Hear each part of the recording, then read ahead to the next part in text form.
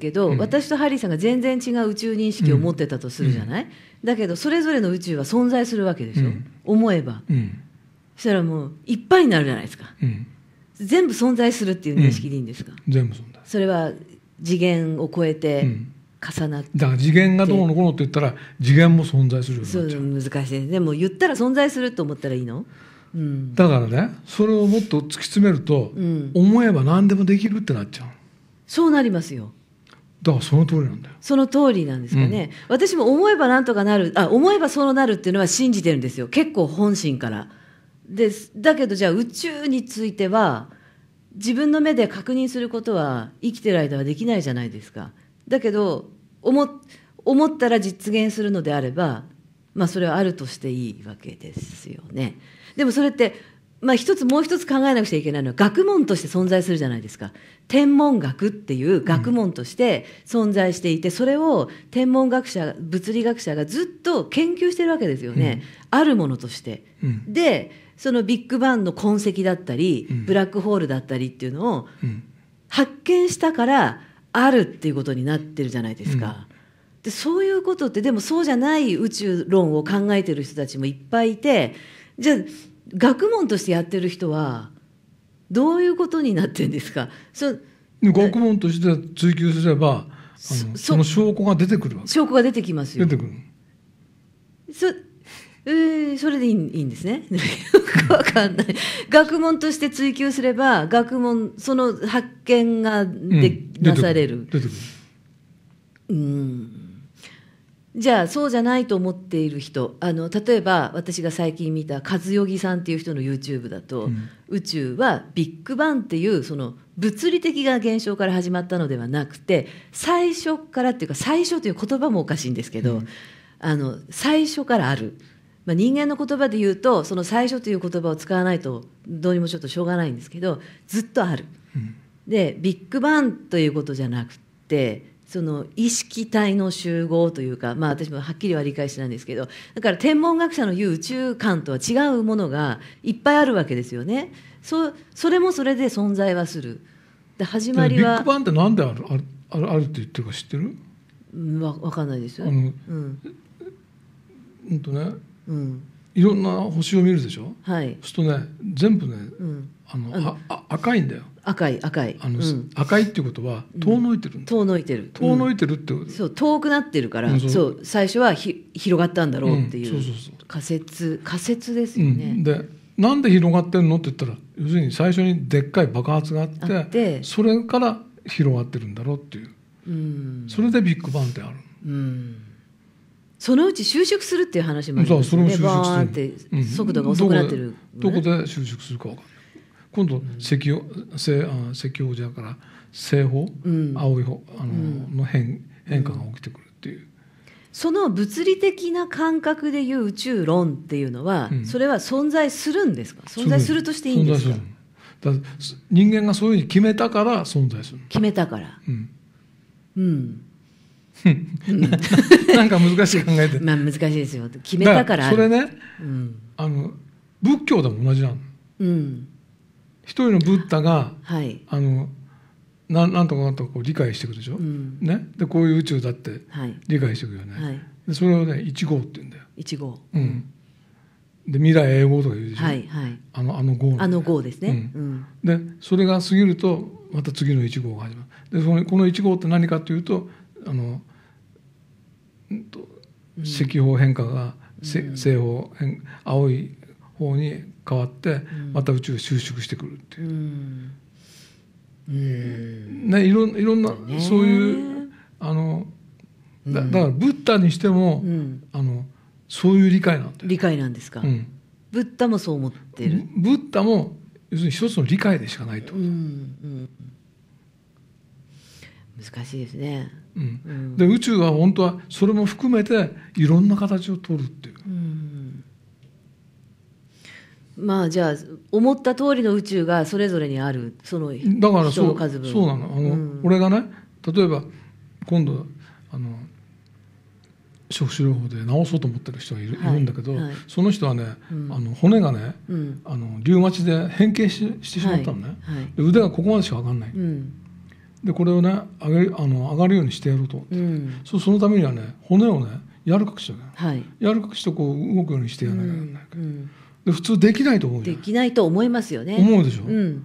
それできないと思っちゃダメなんだよ、うん。それは分かってそうなのだますできると思ってやればできるんだよ。うん。でそれを証明しようと思って、なるほど。うん、それができたらもうだって西洋医学では絶対に無理なことって言われてるわけですから、うん。それができたら本当びっいやくり西洋医学でも何でもこんこんな骨がね、うん。変形してね動くようになるなんてねあの誰も思って思ってないわけよ、うん、うん、思ってないですよね、とはお俺は多分できると思ってるうん。それを本本当に信じるっていうことですよね、うん。できるっていうことを。そう、うん、本当に信じる。でもそれはやってもらう人が信じてなければ効果は半減しませんかね。やってもらう人はどうでもいいの。どうでもいいの、うん。こっちか、うん。こっちの思うのが本気であればそう。治る。なあうん。あそうなんですねうん。うん。っていうことをはい。思ったからうん。侵食種療法の新たな展開が出てくるわけよ。うん。でやっぱりこれ生き残った意味もありますよね。そう、うん。うん、やっぱり生き残るストーリーだったんですよ。だうん。ただこんなことはあのどんどん流行っちゃうと要するに医学がねめちゃくちゃになっちゃうそうそうですね。思った通りになるんであればそれを全人類が思うことができれば、うん。それは世の中は変わりますよねうん。いろいろいらないものが出てくるし。うん、だからまあ世の中はねうん。あのそうじゃない方向に動いてんだよ。はい。あのどんどんね。限定的なとこに。そんなことはありえないとか。うん。うん。なんかそれは昔よりももっと狭まってきてる気はします、人間はこのこの道へ行けみたいな、うん。あの狭まってるのはうん。昔よりも感じるんですけど、どんどんそそっちの方向に持ってこうでなきゃならないっていうね。でも思考が止まっちゃってる人もいっぱいいるじゃないですか今回のコロナの中で、うん。もうこういうもんだみたいうんうな、ん。だからそういうのももう結構昔の人よりも今の人の方がそういう思え思ったらそうなるっていう考えを持てる人って逆に減ってるんじゃないかと思うんですよ。私これこれ皆さんに聞いてみたいんですけど最近そのスピリチュアルの目覚めっていうのが増えてるって言ってる人もいるんだけどそうでない、でもそしたらあれか思った通りになるんだからだから減ってると思えば減ってるし減るしこれ難しいですね。うん。私の周りに私は減ってるんだと思ってしまえば私の周りは目覚め目覚めてない人ばっかりになるし、まあその類は友を呼ぶっていうことわざもありますけど、自分が目覚めている人の方が昔よりは増えてるんだって信じればそういう人が周りを固めるっていうことになりますかね。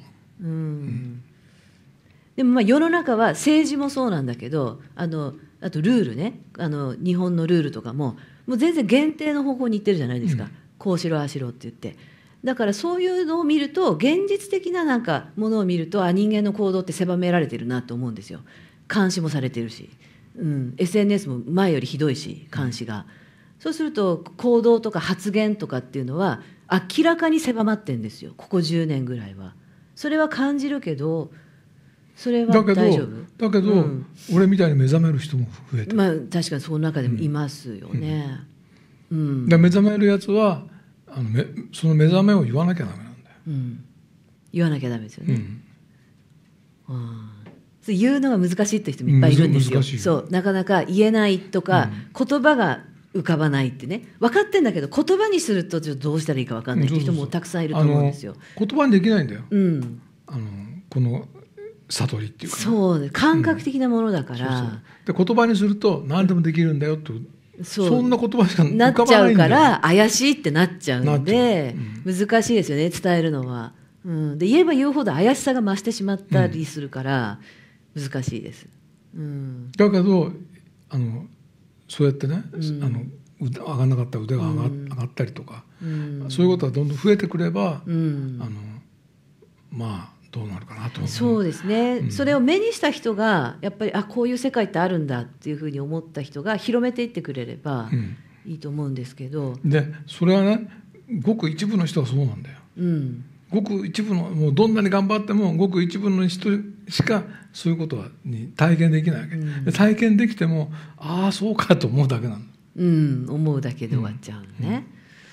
それでもいいみたい、うーんうん。あそうなんですか、う、うんーん。それでもいいんですね。いいみたい。うん。宇宙人はね、ああそうですか、うん。そういううん世界なんですかね地球は。そういうものっていうか、うん。そんなバーンとみんな目覚めるんではなくて。そうそうそう、そうじゃない、うん。目覚めるっていうのは一人一人があのうん。目覚めなきゃいけないんで、うん。うん。一人一人ね、うん。だけど、うん。例えば僕がね、うん。そうなんだよって言ってここで言うじゃない、うん。ね、そうするとここに集まってきた人が、あのそうなんだって思うじゃない、うん、ね、それだけそれだけでも、うんいいみたい、いいのね。う、ん、うん。それだけでも価値があるみたい、うん、そうですね、それをこの集まってきた人がどういうふうに生かすとか生かさないとか、うん。そういう問題じゃないみたい、うん。うん。うん。うん。うん。なかなか、うん、毎日私も宇宙のことを考えてるんですよ。うん。寝ると横になると宇宙のことが浮かんでくるんですよ。必ずです毎日。うん。で宇宙ってどうなってんだろうなとかこう意識でこう目つむってるとどっかに飛んでいかないかなとかね思うんですよ。たまに変なことも起きますけどなんかやっぱ宇宙のことって興味津々ですよね。うん。宇宙のことっていうか俺はね寝寝るとねはい。あのいろんな景色が浮かぶあ景色も浮かびます。でいろんなとこに行った思い出とかも浮かぶし、うん、浮かびますね。うん、でそれはね妙にね懐かしい感じだったそうそうそうそう。今そのリアルにその時間にいるような感覚になったりすることもあるんですよ。うんうんだから時間ってないみたいな感じ、うん。そんな感じがね最近よよくしますね。うん、面白いですよねそれ最近よくどんぐり亭のことを言うんだよ。夢見るんですか？どどんぐり亭なんだけどどんぐり亭じゃないんだよ。ういうことですか？どんぐり亭は茨城のさはい。だ広い、ね、あの敷地にありあそますけど、こなんでしょ？でも俺の思ってるどんぐり亭はなんか山の中にあるんだよ、うん、でそれ見えるんですか、うんそうそう、うん。感じる。うん。でちゃんとね、うん。そのそのどんぐり亭に行く道もあって、うん。電車もそこで乗り換えてどうのこうの全部全部頭の中にあるんだよ、あそうなんですか、うん、うん、でも全全部嘘なんだよ。嘘なの？嘘嘘っていうか本当じゃそれはそうで実際にはそうじゃないんですよね、うん。あのあそこにあるんですよねどんぐり亭は変わらず。それはじゃあどういうことですかそれは？いやだから前世とかさ、ああうん。うん、その記憶だったり。に似たような記憶があったりさ、うん。そういうあのあるいは違うかもしれないんだけど、うん。うん。でもそれはすごくリアリティがあるんだよ。へえ、じゃあそのどんぐり亭らしきものが前にも過去世にもあって、うん。そこに行ってたのかもしれない。絶対言ったね。うん。ん。あなるほど、うん。そうですね。何の用もないのに行くんだよ、うん。ん、行って一泊とか二泊とかしてくる。ああそうなんですか、猫がすごい懐いちゃってさ。うん、猫。猫、うん。猫いるんですよね。猫いるんだよ、で猫お尻のとこ叩くとさ、うん。ず妙に気持ちがいいらしいんだよ。そうそう。おお尻ポンポンってね叩くとね喜びますよね。もうね喜ぶとこじゃない。もうもだもだえるんだよ、ああそうなんだ、なんかね何かあるみたいです。なんだっけな。なんかの線っていうかえっ、と神経があるみたいですよ、うん。なんかあの猫は過去過去を思い出してるのかなと思い思うんだ思ったりするんだけど。あそうですか。んとにかくものすごいもだえ方するのよ。うんで寝てるとさ、うん。必ず猫が来てさ、お尻叩け叩けってこう来る。ああそうなんだ、うん。いや可愛いですよねそれは、うん、可愛いっていうかなんか寝られないよ、あそうですか、ね、ん何？横になると目の前に来てさ。あもうあもう懐いてますね。うん。なんだか知らないけど。へえ、でもう最後本当に眠くなるとんあの布団かぶって寝るんだけど、うんうんそうするとやっと諦めてくれるんだけど。ああそうなんですか、どんぐりって流行ってますね今ね。ハリーさんの中でマイブームね。まああんまり行きたくないんだけどなん遠いんだもん、まあ遠いですよ、うん。私も一回行ったけど大変でした。大変でしょ？大変でしたね、それで一回そこで収録はしたけどやっぱ毎回とかねしょっちゅうは無理だなと思って。思うでしょ？思いました。だって今日だってどんぐり亭でやるよって言ったら絶対大変だよ。うん。まあやるんだったらもう前の日からもうそれなりに準備はしますけど、行ってうん。行って年に1回ぐらいですかね。できたとしてもね、ね。うんそんな感じで、えっと終わりましたので一回休憩入れます。はい。はい。